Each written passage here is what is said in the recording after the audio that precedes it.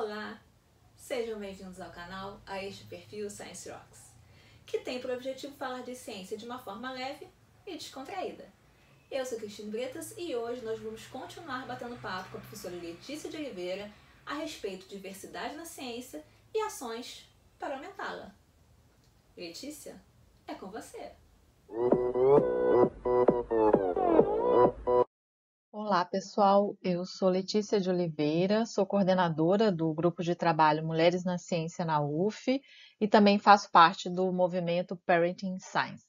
Então, eu gostaria de começar agradecendo ao Science Rocks e a Cristiane pelo convite, e eu vou falar um pouquinho para vocês hoje sobre diversidade na academia e algumas políticas ou ações que podem ser realizadas para que a gente aumente essa diversidade grupos ou comitês locais pode ter um efeito muito importante na inclusão.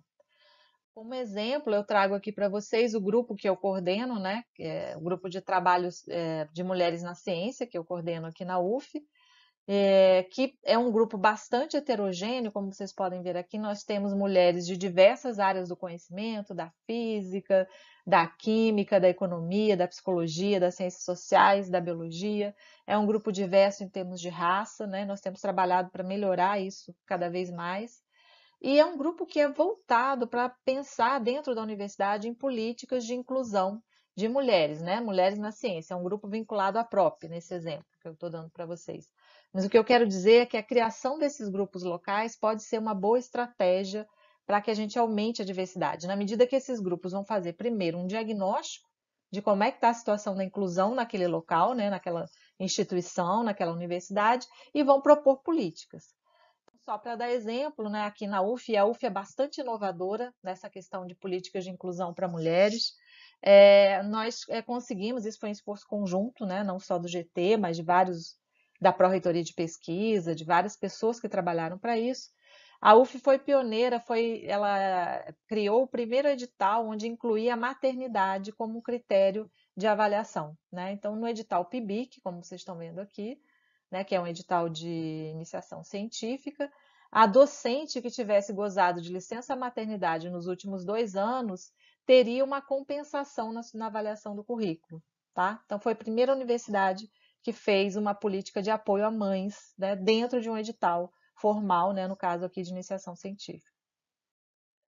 É, esse grupo de trabalho aqui vocês veem no nosso site, www Mulheres na Ciência, produziu dois materiais, isso também é muito importante, né? materiais que possam servir de consulta para a administração central, para as pró-reitorias. Né? Um deles foi Proposta de Políticas de Apoio à Maternidade na Universidade, e o outro, Manual de Boas Práticas para Processos Seletivos, reduzindo o viés implícito. Então, nesse manual, a gente é, dá uma série de dicas, né? De como lidar com o viés implícito, né? Que muitas vezes nos processos seletivos podem excluir mulheres e negros, por exemplo. Então, tem todo o embasamento de literatura, da onde vem esse fenômeno e como combatê-lo. É, outros exemplos mais recentes aqui em 2020, também um esforço conjunto de vários é, setores da universidade, coletivos de mães, né, o nosso GT, as pró-reitorias, a pró-reitoria de graduação, é, são editais em que, é, da, dentro do contexto da pandemia, por exemplo, é, reconhecem a, a necessidade de flexibilizar a carga horária para docentes que cuidam de crianças, idosos ou pessoa com deficiência. É, no ensino é, remoto emergencial durante a pandemia. Né? Então, nós sabemos que a pandemia trouxe uma sobrecarga, especialmente para as mulheres, mães, né, que estão cuidando de sua casa, dos seus filhos, ajudando os filhos nas tarefas escolares. Então, há uma grande sobrecarga dessas mulheres. E nós pensamos, né, nós, o GT e vários outros setores da universidade, em tentar flexibilizar na medida do possível, respeitando a legislação, né, flexibilizar a carga horária dessas docentes.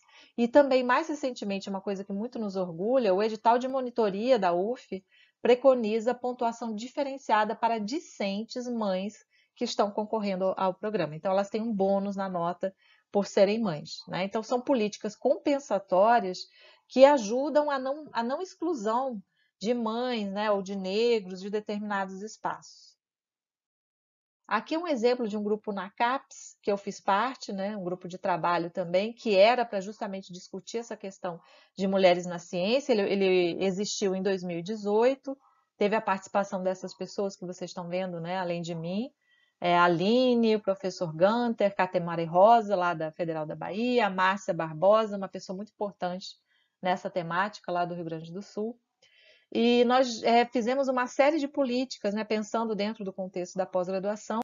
Uma delas, né, uma das, das propostas desse GT foi que os programas de pós-graduação eles pudessem, de maneira opcional, afastar temporariamente as mulheres que haviam sido mães né, naquele quadriênio.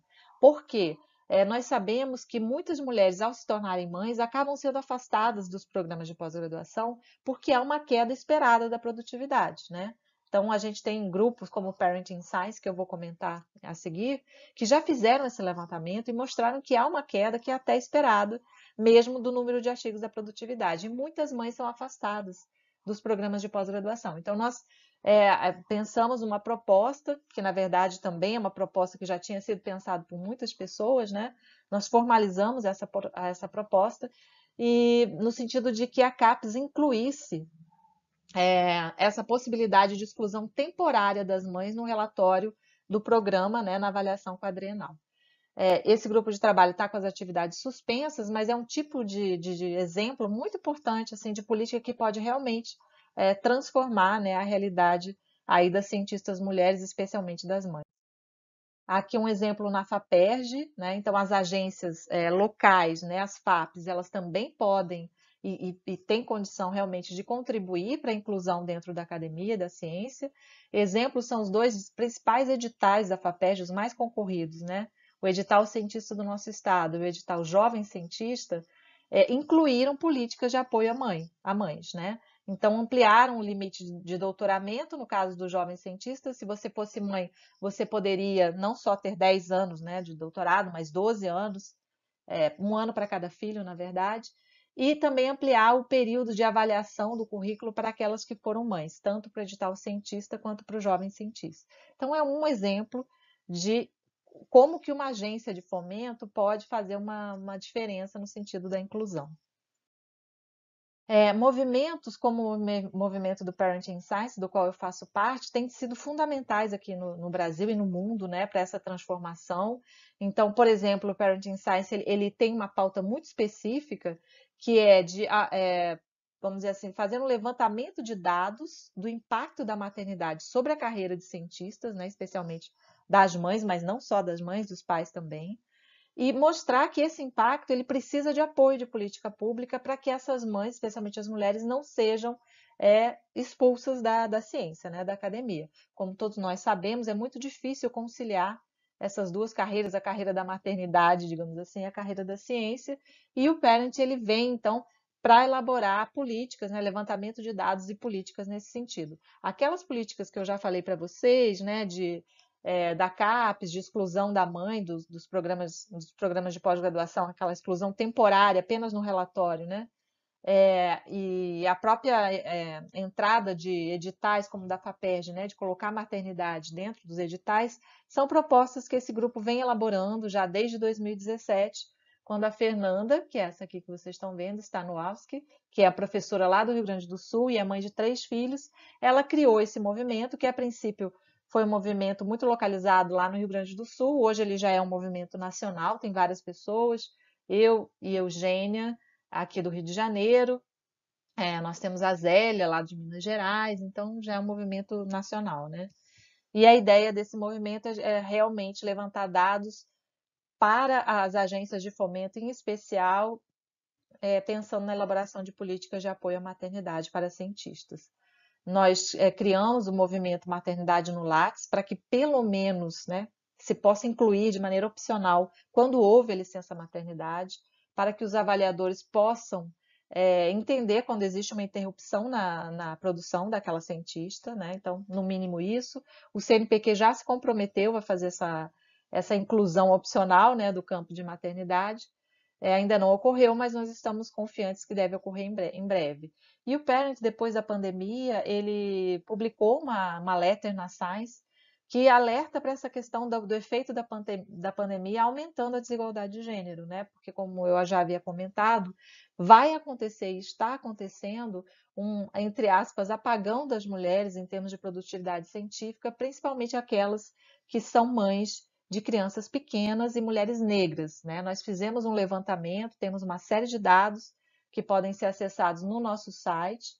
E lá nós mostramos que as mulheres, é, quem mais foi impactado pela pandemia foram as mulheres, especialmente as mulheres mães de crianças pequenas e mulheres negras, independente de serem mães.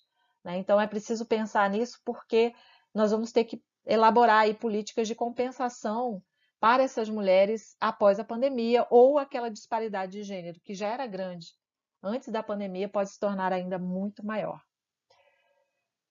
Era isso, gente. Muito obrigada. É, espero ter colaborado aí para que a gente reflita em políticas né, e ações que podem diminuir essa desigualdade e aumentar a diversidade na ciência. Muito obrigada.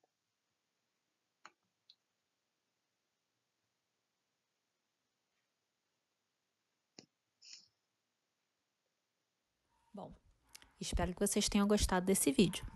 Se vocês gostaram, salvem, curtam, compartilhem, sigam o perfil do Science Rocks no Instagram e no canal do YouTube.